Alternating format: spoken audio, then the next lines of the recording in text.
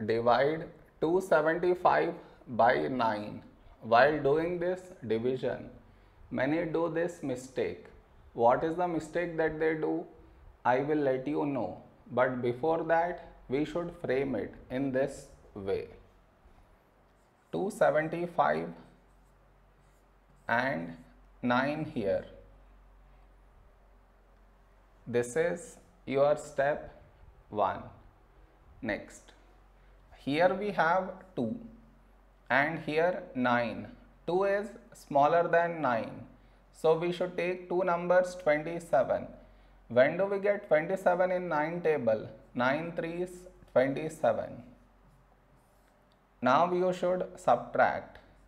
27 minus 27 0 after this bring down the beside number.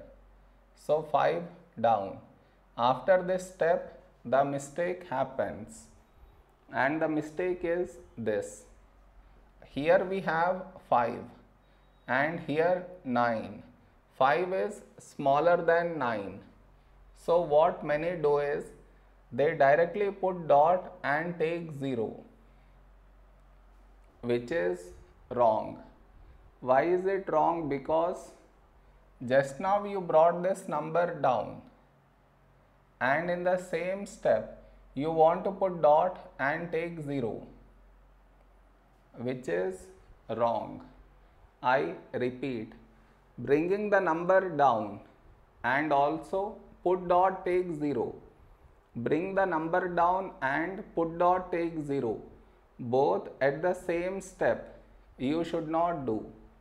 Instead what you should think of doing is which number should we take here if I take 1 we will get 9 but 9 is larger than 5 so what we should do is we should take 0 so 9 into 0 0 now you should subtract. 5 minus 0 5 over here we did not bring any number down.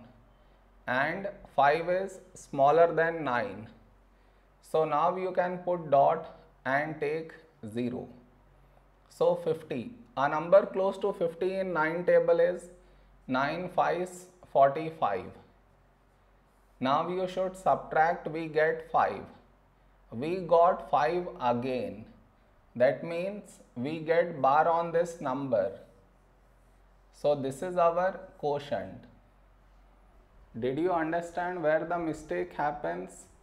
You should not do that mistake